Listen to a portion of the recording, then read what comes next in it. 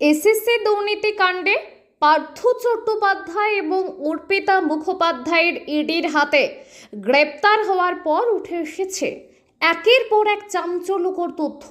অর্পিতা মুখোপাধ্যায়ের দুটি ফ্ল্যাট থেকে প্রায় পঞ্চাশ কোটি টাকা উদ্ধার হওয়ার পাশাপাশি নাম জড়িয়েছে বীরভূমের। বীরভূমের একাধিক জায়গায় পার্থ চট্টোপাধ্যায় এবং অর্পিতা মুখোপাধ্যায়ের নামে ও বেনামে একাধিক সম্পত্তির হদিশ পাওয়া গিয়েছে। এর মধ্যে অন্যতম একটি বাড়ি হল অপা। এসবের পর এবার বুধবার সকাল থেকে কেন্দ্রীয় তদন্তকারী সংস্থার আধিকারিকরা হানা দিল। বীরভূমের আনাচে কানাচে। প্রথমেই এই তদন্তকারী সংস্থার আধিকারিকরা বোলপুরে হানা দেয় এবং পরে সিউড়িতে ও নারুড়ে তাদের হানা দিতে দেখা যায়। নানুরের তৃণমূল নেতা তথা পূর্ত কর্মাধ্যক্ষ কেরিম খানের বাড়িতে হানা দিয়েছে। এই কেন্দ্রীয় তদন্তকারী সংস্থার আধিকারিকরা। অন্যদিকে সিউড়িতে এক ব্যবসায়ী টুলু মণ্ডলের বাড়িতেও হানা দিয়েছে কেন্দ্রীয় তদন্তকারী সংস্থার আধিকারিকরা। কেন্দ্রীয় তদন্তকারী সংস্থা ইডির আধিকারিকরা সিউড়ি পৌঁছে প্রথমে ওই ব্যবসায়ী সিউড়ি সুভাষপল্লীতে থাকা ডালিলা ভবন নামে একটি বাড়িতে হানা দেয়।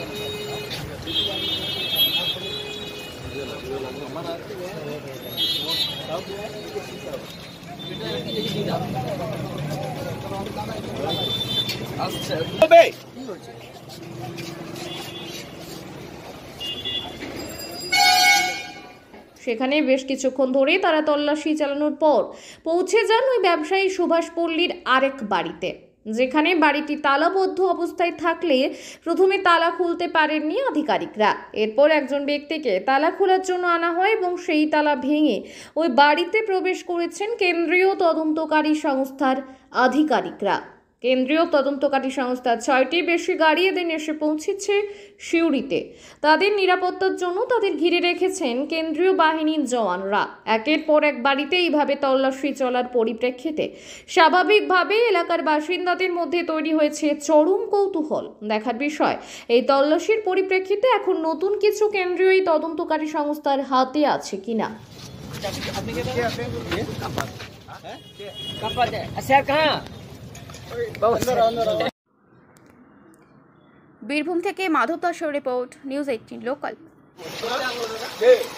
আপনি কে আপনি কে বলছি আপনি কি করেন দাদা